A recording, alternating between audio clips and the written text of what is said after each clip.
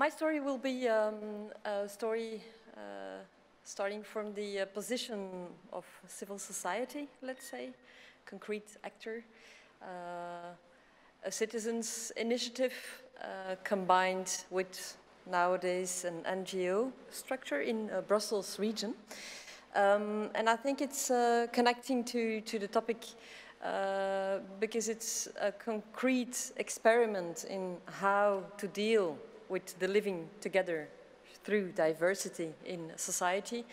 It's about informal education processes on how to learn from each other. We just talked about how important education uh, schemes are and what we try to do in our project is uh, to set up um, more informal uh, education uh, processes and uh, all of that of course connected to the uh, issues that link us today. It's to struggle against prejudice, racism, exclusion, um, social exclusion, cultural exclusion, uh, and whatever kind of exclusion. So it's um, an example, of course, not the single example, but one of the thousands examples that exists, uh, I think, all over the world, looking for new practices on how to connect what is not connected, uh, to let meet people that haven't uh, necessarily shared a past in the society where they live in. In our case, it's Brussels. Uh, so it will be a story that is referring, of course, to the concrete situation of Brussels.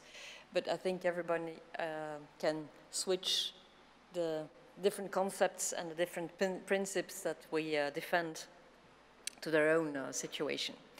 So what we do is, um, Zinneke is, yeah, it's mentioned Zenneke in, in the program, but it's, it's Zinneke um, is a, what we call a city project, uh, where we do in-depth work in the different neighborhoods of Brussels. We work through long processes of one and a half year to set up uh, initiatives and, and uh, build up the uh, projects with the inhabitants, but also with an artistic dimension, so also with professional uh, artists, um, and all different partners in the different uh, neighborhoods. That means associations, schools, uh, uh, psychiatric centers, uh, uh, youth centers, cultural centers, uh, or informal groups and, and, networks. So it's a very broad um, process of linking what is not linked enough to our opinion in uh, the city. Just to give you an idea, we uh, started in 2000, so it's a project that lasts now for 14 years. We have, since we have a biennale working, we have eight uh, editions of work, with each time um, thousands of people that are mobilized through that process with thousands and thousands of hours of workshops, educational processes um, as well. The, well, mm, the most well-known uh, output of what we uh, set up in, in, uh, in, in, our project is this Zinneke parade, which is mentioned in, in, in the program. Uh, but for us, it's just a cherry on the cake of an in-depth work that is very much under the radar um, and real work, uh, the important work that uh, we consider that we do. But that is shown in one big parade after uh, a process that is built up in the different neighborhoods of Brussels. So concretely, uh, we're situated in, in, uh, in Belgium, which in the middle, this uh, Brussels region, which as you know, uh, is not only the capital of Belgium, uh, but also the capital of Europe with everything that is connected to it. So the places of the different uh, European institutions and thus also the different lobby groups. So it's a place where we are uh, used to have a big and important mobilization on all possible topics uh, that are, are uh, questioning society and, the, and, and, and, what is going on in, in, in, the world. So what we do with uh, Zinneke is uh, uh, we take that Brussels reality as, as the starting point. Just a brief uh, introduction on, on, on, on Brussels. Brussels as a region, is a quite complex uh, uh, city in the sense that uh, one might know that Belgium has a quite complicated uh, uh, political structure, institutional structure, and that doesn't always help us in Brussels to deal with the social uh, issues that we should deal with. So we have uh, two communities, language communities, uh, uh, at the one hand, but 19 municipalities, and they all have responsibilities and competences on dif different level, but not always connected to each other. So that gives us a quite uh, sometimes uh, impossible political situation to really uh, go forward um, uh, on a coherent way to certain issues. At the other hand, it's Brussels region is always figuring in uh, the top uh, uh, richest regions of, um, of Europe. But if we look to the income situation of people, then we have an all a completely different story. because we have about 28%, depending on the figures, if we use the European um, uh, counter model, then we have about 30% of the population living under the poverty rate. That's enormous. This figure uh, shows you the uh, blue, uh, dark blue spots are the concentrations of uh, the lower uh, income uh, groups. And we see, in fact, historically, the print of the 19th century development of the city with the installation of the old industries and who says industry says migration. In the first time it was internal migration, uh, peasants uh, coming from different parts of the country. And then we, we know uh, very well in our northern European countries how we, after the First World, World War, started to organize uh, migration to hand, uh, get in uh, labor uh, forces. And that goes on until today, of course, with the mondialized, uh, the globalized migration that is still um, visible in, in the, the, blueprint, let's say, of, of, of the city of the Brussels region. So that gives us a city with an enormous um, diversity, which we consider to be an enormous potential. Uh, certainly, it's not easy. We have to deal with it. We have to search for new practices to connect uh, all this uh, diversity. Um, but for us, it's really um, a toolkit where uh, we think we should work uh, with uh, on a daily basis. Um, well, I let you read the, the figures. What is important as well is, uh, is, is, maybe to highlight the, the fact that it's not only, only a question of, of social and cultural diversity, um, uh, but also in terms of ages. We have about one third of the population uh, younger than 25 years that we have, so that means that we have an enormous potential in, in, uh, in the Brussels region, which is the case, well, might be important to mention as well for a lot of big cities. So what we try to do is to set up processes where we try to break down uh, all these uh, limits and go against uh, um, well, the, the reality, the, the, the, concrete practice that separates us. That means uh, our national bound, nationalistic references, uh, the languages that we speak, uh, the age that we have, where we live, in what part uh, of, of the city, what neighborhood we live in, uh, and so on. So what we try to set up in the beginning of a process is an in-depth work in all the neighborhoods where we go and look for different partners, as I mentioned, from a very diverse uh, uh, origin, where we try to connect um, the, those organizations, those actors, those uh, uh, uh persons. sometimes it's, it's a lot of patient work, as you can imagine. we are like some kind of a marriage bureau where we take time to meet people, see who they are, what they would like to do, and then uh, try to see uh, if uh, people might uh, be interested to work and collaborate together, especially through an artistic and a cultural uh, project that will set up. That will set up uh, through a process that we consider to be very important to be a participative process. Because unlike a lot of other projects that exist, what we try to set up is a process where all people are co-producer from the very start of what is going to be done, of the theme that is going to be uh, central in, uh, in, uh, in, in, the, uh, in the project, the questions that they want to raise, the, uh, the topics that they want to share uh, with each other. And then from there on, step by step, go further and further and reflect on, on, um, on what kind of project they could set up. But behind that process, what is important to us is what is written there. It's that we learn people on concrete uh, in concrete situations, in a concrete experiment, in an everyday life experience, what it means to listen to somebody take time to hear what that person has to tell, even if it's difficult because you don't share the same language or that person is not daring to speak easily uh, uh, with people that he or she doesn't know, uh, or with persons who cannot speak because they are, have a, a, a handicap and so on.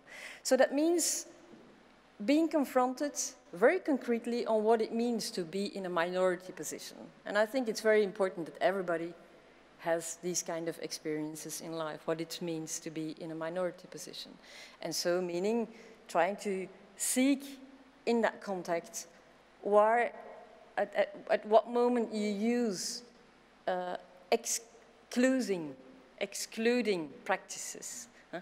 So it's not the professional that should lead the meeting or the workshop.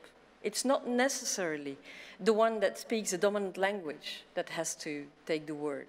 It's not necessarily the person that is there with a certain uh, uh, evident competence. It, in our processes, makes it possible to have the refugee, the undocumented, le sans-papier, the illegal, as some might name it, which is a word that is horroring us, of course, uh, becomes the person that has the right competence in the group. Because he or she in, in her or his country has been an important and uh, a very uh, uh competent and skillful dancer.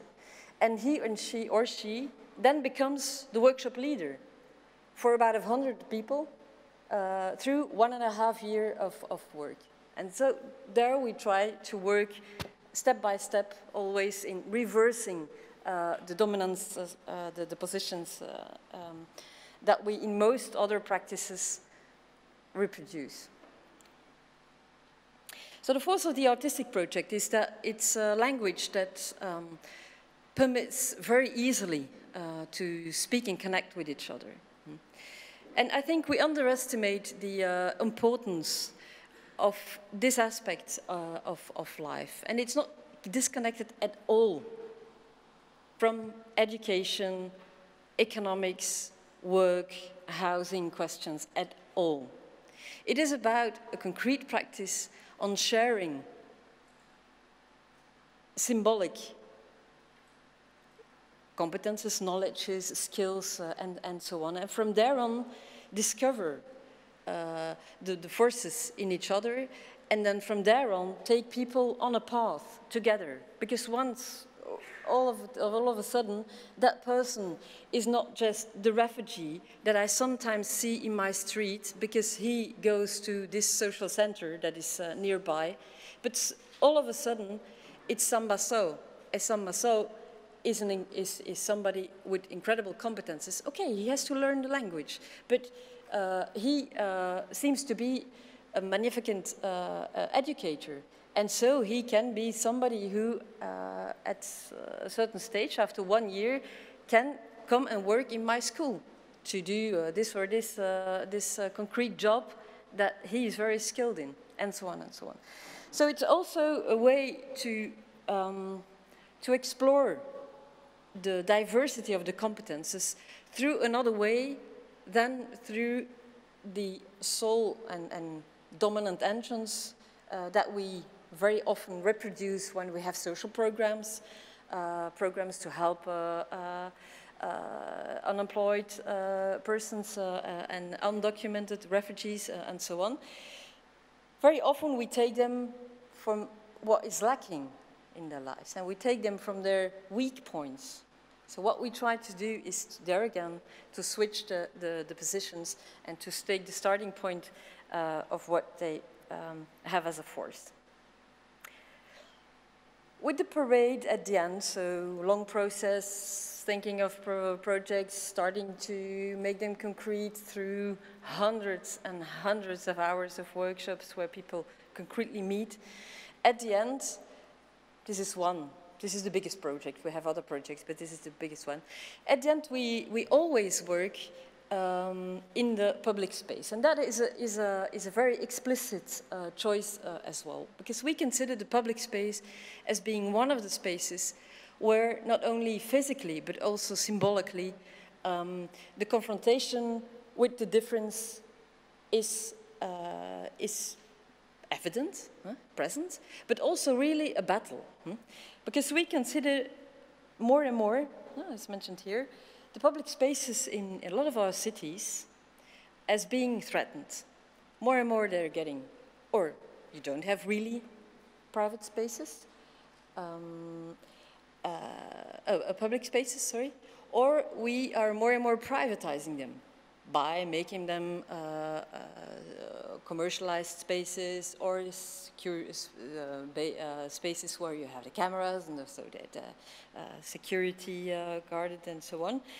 And we really think that there is a, a, big, a big, issue in uh, continue to fight for uh, the development in our uh, living spaces. If it's in city or, or, in more rural areas, I think it's very important to continue to struggle for these public spaces that allow us to create these shared spaces and also there um, create the, um, uh, the, the, the, the, yeah, the space for uh, the speech of those, uh, the words of those, the stories of those that we are not used to hear or see or meet uh, on a day-to-day -day basis. So if I try to resume what we uh, try to defend is there's a lot of things that we can do. The, question was raised on what kind of projects uh, can, can be set up. And I think it's on every level of society. If it's in education, if it's in housing policy, if it's in economics, because what we do, uh, I didn't mention it, but what we do, we, do, we also have different um, uh, education, more formalized education and training pro processes that we set up through uh, um, techniques, uh, technical uh, programs and training programs on certain techniques and, and um, how do you say again in English? Hand, handicraft, so old, old uh, techniques that in our societies are getting, uh, uh, we are losing them. Huh? But they're getting very expensive to, to have them, uh, to work with metal uh, and, and concretely uh, not only industry-based uh, technique uh, creation, but also very concrete uh, basic technique training. And that gives every year um, tens and tens of people the possibility to find a job. So it's also about very concretely connecting uh, people again with concrete practices, concrete uh, networks where they uh, can meet other people. And from there on, start and rebuild uh, their, their life there where it was difficult before. So it's about really trying to seek actively and proactively. I think that's really important as well uh, for the potential that we have around us. I was talking about the importance of creating shared spaces, and I think it's not that um, obvious. I think we are lacking spaces where we can share. Uh, we are obliged to meet other people that we not regularly meet. And these uh, uh, spaces are really very important. And we defend there not only the do-it-yourself practice, huh, to learn to be quite autonomous and emancipated in, in, in, what you do, but also do it together. So we add to the DIY the DIT logic. What we always defend as well is every time that groups and people are willing to, uh, to set up a project, we oblige them to collaborate with other people that they don't know, other ages, people in psychiatry, asylum seekers, uh, people in uh, social difficult situations, but also the expats, uh, the European uh, institution-linked uh, workers in, in, in, in, the city. So connect the rich and, and, and the poor. And there again, the central idea is always to set up an initiative where it's possible to go against these prejudices, these uh, obvious images that we have of the other, hmm? uh, because that's easily constructed. Huh? Since mankind started to build walls, I think that we started to build walls in our heads as well. And I think it's an in-depth work for every individual uh, in, in this uh, uh, earth to, to, to learn to deconstruct that. Hmm? We consider the uh, importance of uh, this collective creation and co-production a key uh, aspect as well, because it was mentioned Shouldn't we invite uh, Romas to, to, uh, to, come, to come and talk? I should say yes, of course, but also include them in producing the program of what you're going to tell. Hmm? So really get, uh, let us stop to talk about, but include even in the programming before we decided what we're going to do, the people we uh, want to uh, connect uh, with.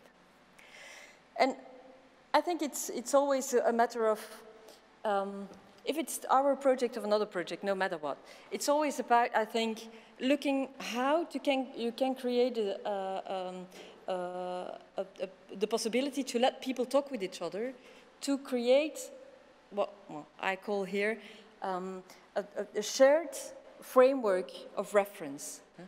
So that means that everybody has to give something of him, of herself, at the one hand, but at the other hand, what is connected and what will be the us, the project that we build together, is the result of what everybody has put it in it. And is a hybrid uh, construction, really a project, uh, projecting into something that is different from, from me.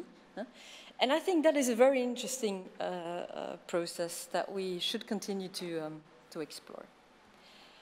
Not being afraid of doing that in concrete uh, situations, um, and that might be a neighborhood, a territory, but it might also be in, in, in network, but start from concrete uh, situations. Yeah, the artistic part, I'm not going to deal too much uh, with it. But um, always think on, on how uh, we reproduce dominant uh, positions and how in your project and, and how in what we do we can deconstruct and uh, uh break down these uh, dominant positions. And to what us um, is concerned, it's also about when I started in the beginning to say that it, is a city project, it's also a battle for a, certain kind uh, of city. And for instance, Brussels, but Brussels is not the only uh, city where this issue comes uh, up more and more, uh, where it's very important to position ourselves uh, as a competent and uh, um, concurrential city, because we have to put us on, on, on the map, and, and it's like capitalism in, in, in in, in the cities. We have to fight for our place to be the most attractive one, the cosmopolitan city and so on. And we think uh, we can never, never uh, lose uh, aside at the same time the question of what kind of city do we invest in and who do we do it for? And what do we do with the inhabitants? What place is there still for the uh, uh, inhabitants and what kind of uh, inhabitants? Voilà. Yes. And I'm stopping here then. So Nevertheless, uh, one of the things that uh, I think is important as well is it's not an easy process. Working on these social aspects, I mean, even in a couple, getting two people living together on a daily basis is already very difficult. So dealing on a daily basis with other layers as on top of that is really not an easy issue. I think it would be a mistake, and I think it has been explored yesterday already in the first time. At the other hand, it's also important not to be afraid of confrontation and of conflict. But we have to learn to debate and to confront each other in order to avoid violence and war. And that is something that we have to explore on a daily basis as well. I think in education and also in informal, informal education uh, practices, this is one of the things that we uh, started to uh, forget to uh, invest in. I'm, um, I will leave it up to here.